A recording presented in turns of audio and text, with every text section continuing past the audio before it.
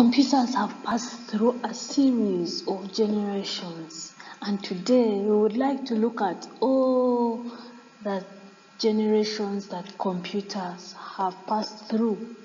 Welcome to yet another video, Tech Lovers, and please don't forget to subscribe and click on the notification icon so that you can be the first to view when I upload another video. So in today's lesson the five generations. The first generation from 1946 to 1959 which was vacuum tube based. Second generation which was transistor based. Third generation which was integrated circuit based. The fourth generation which was VLSI microprocessor based. And the fifth generation which was ULSI microprocessor based.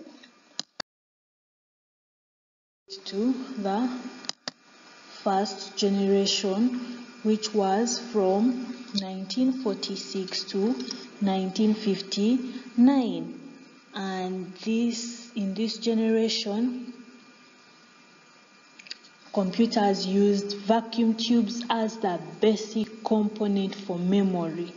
These tubes, like electric bulbs, produced a lot of heat and the installation used to fuse frequently. Therefore, they were very expensive and only large organizations were able to afford them. Then they were huge in size. As you can see in this picture they needed an AC because of the excessive heat they generated and they had slow input and output devices such as the punch cards the magnetic tapes and the paper tapes. And then they were costly and consumed a lot of electricity and they were not portable because they were really huge in size Let's look at some of the computers in this generation. We have the electronic numeric integrator computer. Yes, that, and you can see the first ladies who touched it. And then we also have the electronic discrete variable automatic computer. And then IBM 701 and IBM 650. And then let's look straight second generation computers which ran from the period of 1959 to 1965 and in this generation computers used were very cheap compared to the first generation consumed less power were more compact in size they were more reliable and faster compared to those that use the vacuum tubes. And then in still in this generation, magnetic cores were used for primary memory and for secondary storage devices they use the magnetic tapes and disks.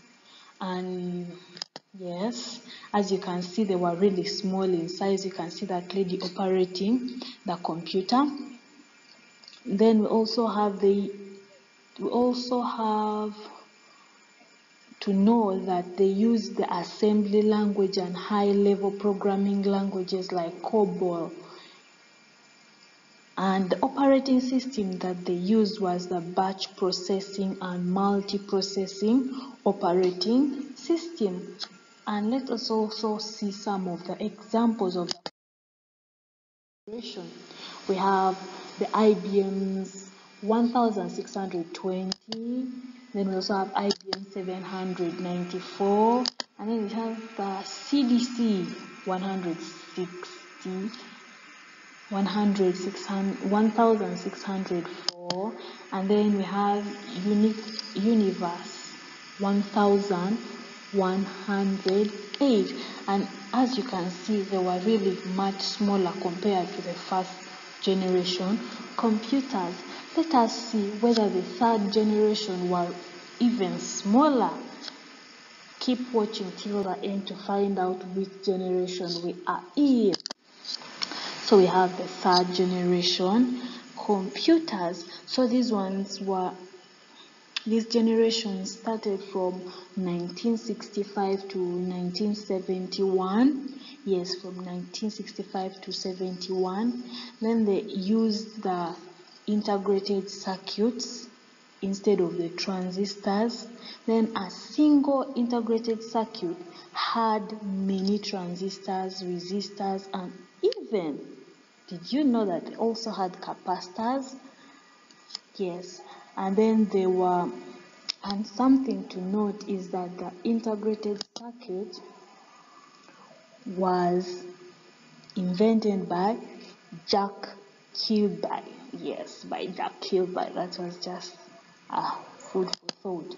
Then the development made computers smaller in size, reliable, and effective. Actually, in this generation, remote process remote processing. We also have time sharing multi-processing operating systems were used. And a high level language like the front FORTRAN, FORTRAN, COBOL, Pascal ah, were basically used during this generation and as you can see they were really small compared to the other two generations. And then they were less they were faster generated less heat. They were really small in size. They supported high level languages consumed lesser electricity then also needed AC to cool down because they still produced some heat right? Yes uh, also some examples of these computers. So some of them we have IBM's 360 series. Yes, we have IBM's 300 series. And then we also have the fourth generation. Yes, in the fourth generation, we had then in the fourth generation, we had the period of from 1971 to 1980 and these computers used very large scale integrated circuits which is the VLSI technology yes and they were really cheap portable they used uh, PCs, yes, personal computers. In the fourth generation computers, they were also more powerful, more reliable, more comfortable. And here, basically, no, no ACs were really required. No ACs were required. So if you had one, you could use, but they were not required. And it gave a rise to personal computer revolution and still in this generation it's where we also had time sharing real-time network distributed operating systems were used. Then all the high level languages such as such as C, C++, for those who like programming, C++, DBase, and so much more were used in the fourth generation look at also some of the computers used in this. So we have the DEC 10 and then we have the PDP11, CRAY-1 and CRAY X-MP. Yeah, so the image of the DEC 10 is that. We have the D PDP. Yes, we also have the and you can really see that they were really small yeah. They were really small. So as time kept moving the size reduced. And then we have the fifth generation which was now from 1980 till date.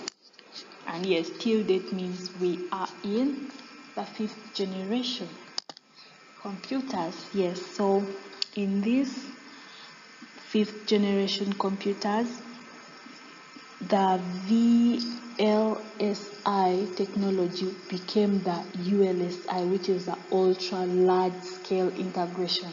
Yes, it was the one used, resulting into the production of microprocessor chips having 10 million electric electronic components. Isn't that just so amazing? Yes, and then also in this generation is where it was based on AI, which is artificial intelligence software, which is simply an emerging branch in computer science which interprets the meaning the means and method of like making computers think like humans. So true and then we also have the advancement in parallel processing was also invented in this system. So in the ai we have robotics neural network game playing development of expert systems to make decisions in real life situations natural languages understanding and generation. Yes so they were also more friendly. They were more friendly availability of very powerful and compact computers at cheaper rates. So we can see in this picture, we have the phones, the laptops, notepads, desktops, iPads, and lots more. So let us also look at some of the examples of the computers used here. We have the desktop. We have the desktop. Laptop, the Ultrabook, and then the Chromebooks. Yes, guys, so that has been the series through which the computer has moved from the first generation right from those days of 1949 till date which is 2020 thank you very much guys for watching and thank you for watching and I hope you enjoyed. Please don't forget to click on the bell notification icon and please share the content if you found it useful and don't forget to give it a thumbs up if you liked it. Thank you very much tech lovers. Till next time in the next video. Thank you very much.